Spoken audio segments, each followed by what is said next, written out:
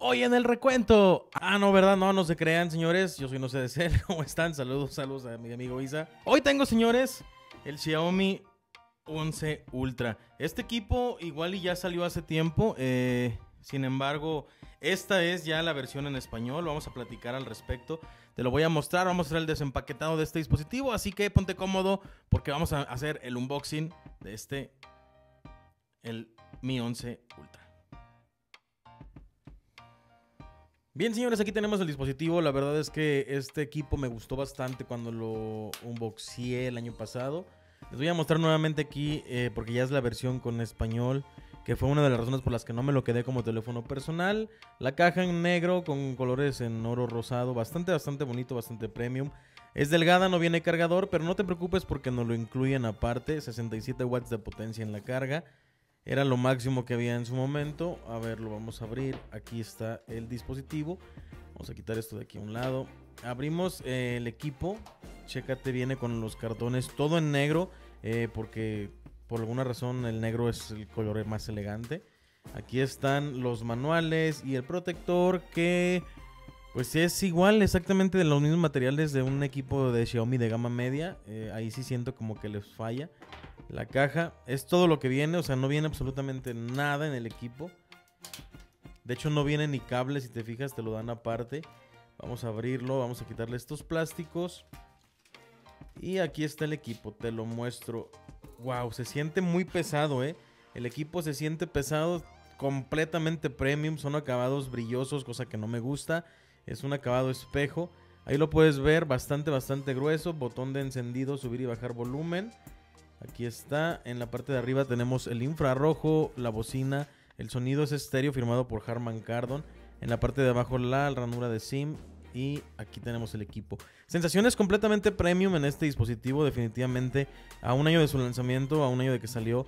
Se siente súper, súper premium, de verdad. Las sensaciones son de un equipo muy sólido, muy bien construido, con mucha calidad. Lo voy a encender, lo voy a configurar y te lo voy a mostrar nuevamente, ahora ya en español, para que veamos juntos si vale la pena de cara al 2020. Estamos ante un teléfono, señores, que lo tiene todo. A nivel de diseño, la verdad es que me gusta bastante. Le pongo el pero de que es un acabado espejo, eso ya es a gusto personal de cada quien. Hay personas a las que este tipo de acabados les fascinan, pero lo que es innegable es que la calidad de construcción, los materiales se sienten a la mano de inmediato.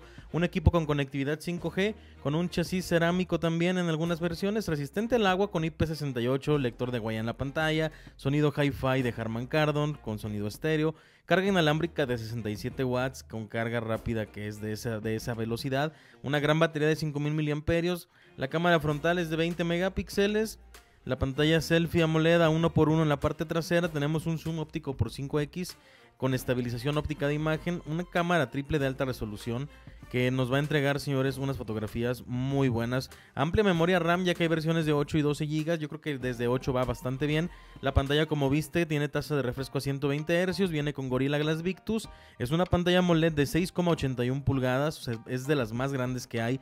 Con una densidad de píxeles de 515, que también lo hacen con una densidad de píxeles de las más elevadas que he visto últimamente.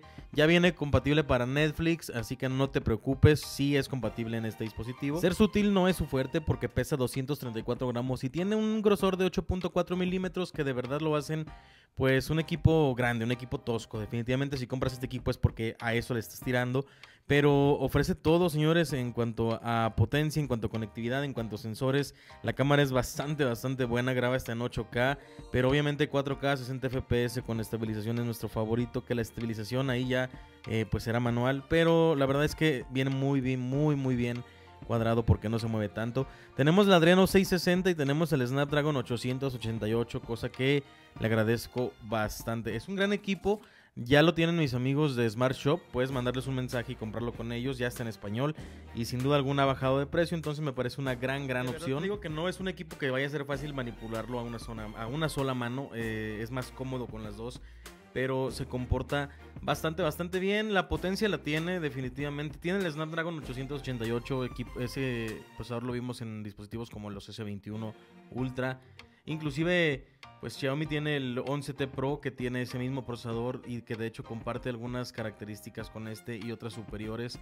Pero lo que hace a este tan único, tan especial y tan interesante es esto de aquí, señores, esta pantalla que vamos a poder utilizar como un espejo a la hora de hacer selfies para tomar selfies con estas cámaras, así de esta manera. Eh, no es tan práctico y la verdad es que la pantalla no es tan grande ya a la hora de, de la verdad. Es una pantalla de un tamaño como el de la Mi Band 6, entonces sí es pequeña, pero es innovador, o sea, inclusive aquí puedes revisar cuando te llegan algunas notificaciones, vas a tener tu dispositivo así y te van a llegar ahí las notificaciones y no las puedes abrir, no puedes interactuar con ellas aquí, pero definitivamente las puedes ver y eso ya es algo que se agradece. Ahora en el tema de la fotografía también, que puedas eh, mirarte ahí, pues también, que también hay que tener muy buena vista de halcón para verte ahí en esa pantalla tan chiquita teniendo el brazo pues a una cierta distancia, entonces eh, cosas que hay que considerar. Pero me parece un gran equipo en las características que tiene, sí me parece muy bueno. La carga rápida, son 67 watts. Obviamente, yo comparo a muchos equipos de Xiaomi con el 11T Pro porque me parece un equipo que es el más calidad-precio que tiene la marca actualmente. Porque ese tiene, ese nos entrega 120 y este tiene 67. Ya hice pruebas de tiempo de carga y la verdad es que sí es rápido y me parece que pues va a ser menos invasivo. Además de que tiene 5000 miliamperios, la autonomía es muy buena, señores, en este equipo. Yo cuando salió lo quería, me lo quería quedar.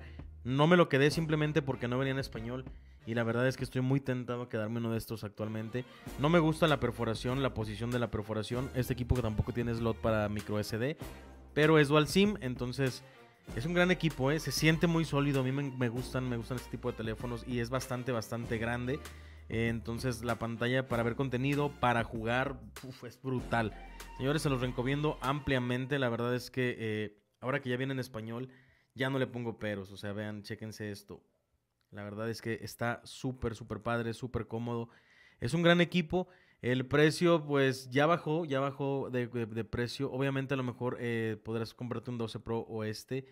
Ambos equipos son muy buenos. Este tiene mucho zoom. Tendrás que ver cuáles son las prioridades para que tú compres un dispositivo. Pero este es una excelente opción. Hasta aquí mi reporte, Joaquín. Nos vemos en el siguiente video. Hasta la próxima.